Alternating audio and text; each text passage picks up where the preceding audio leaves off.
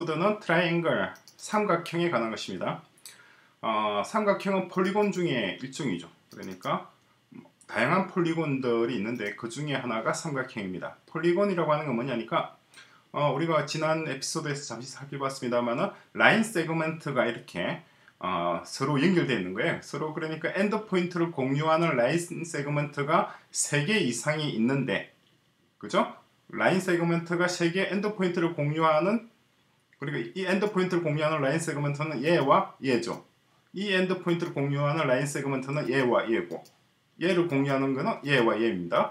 이렇게 3개 이상의 line segment가 end point를 공유를 하는 형태인데 어, 두 가지 전제 조건이 있습니다. 첫 번째는 하나의 end point를 공유하는 것은 반드시 두 개의 line segment에만 한다는 거죠. 세 개가 동시에 하나의 end point를 공유하면 안 된다는 말입니다.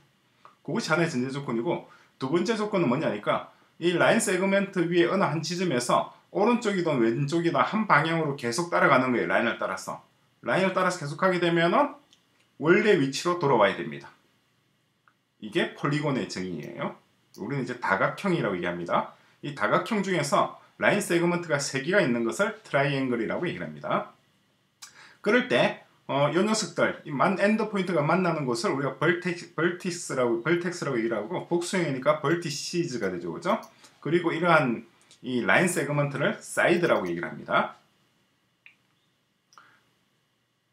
그래서 이제 우리 보통 앞으로 이제 용어를 좀 우리가 정리를 해야 되는데, 어, line segment AB, A와 AB 이거죠. 이 AB는 included between angle A and angle B. angle A와 angle B 사이에 포함되어 있다 라고 표현하는 거예요. 이렇게 표현하는 방식입니다. 왜 이렇게 표현하느냐?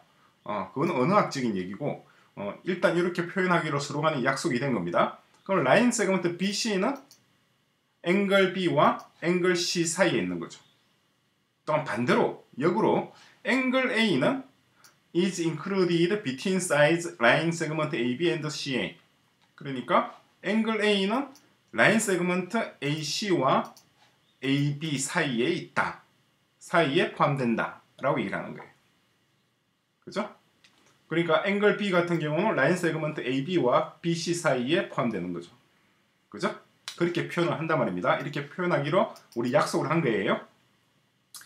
그래서 어, angle, line triangle 내에 angle들의 크기에 따라서 이렇게 어, 네 가지 형태로 분류할 수가 있습니다. 첫 번째는 acute triangle인데 어, 이 내각이 각 전부 다 음, 90도 이하인 거예요. 세 각이 다. 그죠? 이 내각이라고 얘기하면 내각이라고 하는 것은 안에 내자예요. 인티어리어를 말합니다. 하나, 둘, 셋, 넷 할 때 그 내가 아니고 안에 있는 각도, 내각. 삼각형 같은 경우에는 내각이 세 개죠. A, B, C. 요것들이 다 90도 이하인 경우는 acute triangle이라고 하는데 자, 그 중에서도 어, 그 중에서도 이 뭐예요? 이 세 각이 다 똑같은 경우. 그러니까 각 D와 angle D와 angle F와 angle E가 다 같은 경우를 우리는 이 equi equiangular triangle이라고 얘기를 합니다. equiangular. 아, 제가 equi라고 하는 것이 발음이 안 돼요. 아, 이 영어도 가르치려면 영어 발음이 좋아야 되는데 아, 선생님은 어, 경상도에서 태어나서 경상도에서 살아서 어, 특정 발음이 잘 안 돼요. 그거는 여러분들이 이해해 주세요. 제가 바람풍 하더라도 여러분은 바람풍 하셔야 됩니다. equiangular, equiangular triangle이라고 하는 것은 어, 세 각이 다 똑같은 크기가 다 같은 걸 말합니다. 우리 한국말로는 정삼각형이라고 얘기하죠. 그리고 right triangle은 한 각이 90도인 경우를 말하는 거예요. 그리고 obtuse triangle은 한 각이 90도 이상인 경우죠. 이렇게 K가 지금 그러하죠. 그죠? 어, 그리고 어, legs라고 하는 것도 있는데 그리고 hypotenuse라고 하는 용어도 있고 어, 그 중에서 어, 이거 경우를 보면 되겠군요. 이 right triangle의 경우에 이 각 있죠. 이 90도. 90도 각에 어, 마주보고 있는 이 사이드, 이 side를 hypotenuse라고 얘기합니다. right triangle도 그렇고 어, 그 외에 다른 또 어, triangle에도 그런 경우가 있습니다. 그 경우를 우리 좀 이따 살펴볼 거예요. 그리고 그럴 때 이 사이드 이것과 이거 이 두 side는 우리가 legs라고 얘기합니다. 그러니까 GH와 HI 그죠? 이것도 legs라고 이해하는데 이등변 삼각형에서도 그렇게 표현합니다. 좀 이따 볼 거예요. 그래서 삼각형의 어떤 각의 합은 몇 도가 되느냐? 그거는 우리가 180도가 되는데 왜 그렇게 되는지 한번 같이 살펴보자는 거죠. 자, 밑에 어, line segment AB와 평행한 가상의 line DE를 이렇게 그어봅니다. 그럼 얘랑 이 line DE와 line segment AB는 평행하죠. 그죠? 그런데 우리가 이전 에피소드에서 공부했던 것이 alternate, alternate angle 해서 이 x와 이 x, 빨간 x와 까만 x는 각이 같아야 되고 이 빨간색 z와 까만색 z 역시도 각이 같아야 되죠. 그죠? 그런데 재밌는 것은 x와 y와 z를 합친 것은 180도잖아요. 왜냐니까 이거는 직선이니까. 그죠? 따라서 x와 y와 z의 합은 180도가 될 수밖에 없는 거예요. 그래서 삼각형 안에 있는 내각, 그죠? interior measure of the angles가 합하면 180도가 됩니다. 예를 들어서 삼각형 내에 한 각이 1하고 한 각이 1하다면 나머지 각은 이렇게 계산이 나오는 거죠. 180 마이너스 해서 그죠? 어, 그리고 두 번째 예제를 보니까 삼각형 triangle ABC에서 어, 앵글 B가 앵글 A의 두 배고 앵글 C는 앵글 A의 세 배다. 그러면은 각각의 ABC, 앵글 ABC는 얼마이냐 하는 거죠. 계산 하면 바로 나오겠죠? x와 하나는 2x와 하나는 3x를 딱 플러스 했을 때 180도 된단 말이잖아요. 그죠? 그러면 x는 30도, 60도, 90도 이렇게. 하나는 30도가 되고 60도가 되고 90도가 됩니다. 그죠? 그리고 이제 angle을 지금 이제 그 뭐예요? side의 길이 이런 것도 봤었는데 어 아, 아니죠. 각을 각으로 우리가 얘기했었는데 이번엔 side에 따라서 한번 angle을 분류를 해보자는 거죠. 그러면은 어, 스칼린 트라이앵글이라고 하는 것은 이 세 side의 길이가 다 다른 경우입니다. 그렇죠? 이제 지금은 이제 사이드 길이만 보는 거예요. 조금 전에는 angle을 봤었죠. 이제 angle이 아니라 사이드 길이를 봤을 때 세 개의 사이드 길이가 다 다르면 scalene. 그 중에서 두 개가 같은 것을 우리가 isosceles라 그러는데 우리가 한국말로는 이등변 삼각형이라고 하는 거죠. 그리고 세 개가 다 똑같은 것을 triangle이라고 얘기합니다. equilateral이라고 하는 말은 어, 사이드 봤을 때 그러니까 세 변의 길이가 같다 이 말입니다. 그런데 각의 각이 똑같다고 했을 때는 equiangular였죠. 그죠?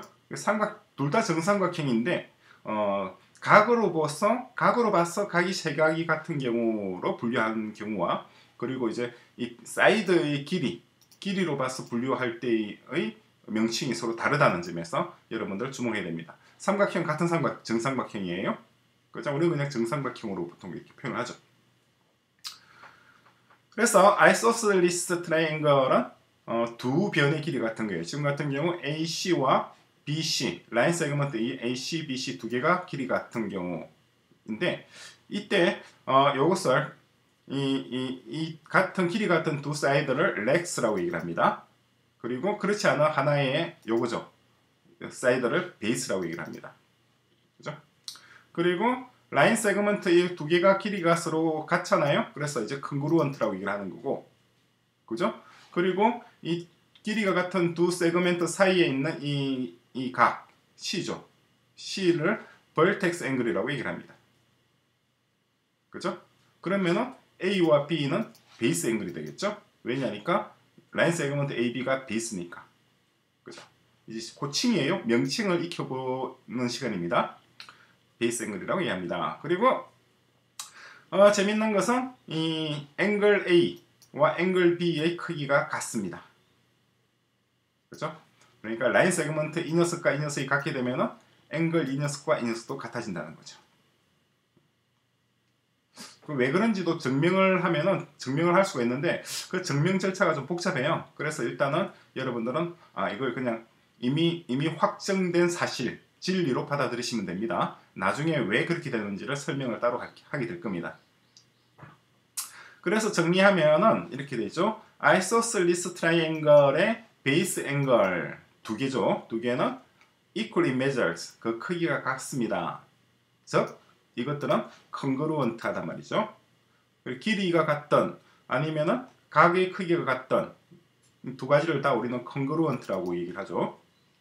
그리고 어, 삼각형의 두 각이 각, 각의 크기가 같을 경우 그럴 때는 어, 뭐라고 되어 있나요? 이 angle의 반대편에 있는 side들의 길이가 같단 말입니다. 이게 무슨 말이냐니까 자, 이 angle A와 angle B가 같단 말이에요. 같다고 할 때는 이 앵글 A의 반대편 아프지트에 있는 사이드는 이 녀석을 말합니다. 그리고 앵글 B의 아프지트에 있는 사이드는 이 녀석을 말하죠. 그죠? 이 녀석과 이 녀석의 길이가 같단 말입니다. 언제? angle A와 angle B가 크기가 같을 경우. 그렇단 말이죠. 그죠? 그래서 equilateral triangle은 세 side의 길이가 같은 경우를 말하고 어, 이러한 세 side의 길이가 같은 삼각형의 경우에는 재밌게도 안에 있는 각 A, B, C도 같아집니다. 정리하면은 if a triangle is equilateral 만약에 어떤 삼각형의 세 변의 길이가 같다면은 그 내부에 있는 세 개의 각도 각도 같다 이 말입니다. equiangular. 그죠? equilateral 하면은 equiangular 하다 말이죠. 그래서 뭐 어떤 특별한 triangle의 어떤 property 속성들을 얘기를 지금 쭉 정리를 하고 있습니다. 같이 한번 읽어볼까요? 그러니까 어, 어떤 삼각형의 두 side가 어, 길이가 같다면은 그 어, 이 사이드의 반대편에 있는 각의 크기도 같습니다. 무슨 말이냐니까 만약에 이 녀석과 이 녀석의 길이가 같다면은 얘의 반대편에 있는 각 이것도 말하죠. 그리고 얘의 반대편에 있는 각 이걸 말하죠. 이 두 개의 각의 크기가 같단 말입니다. 언제? 얘와 얘가 같을 때. 그렇단 말이죠. 또 두 번째로 보면은 이번에는 이제 또 다른 각도 측면에서 얘기를 합니다. 어떤 삼각형의 두 각이 그 크기가 같다면은 그죠? 이 각들의 반대편에 있는 사이드들 역시도 길이가 같습니다. 이거는 무슨 말이냐니까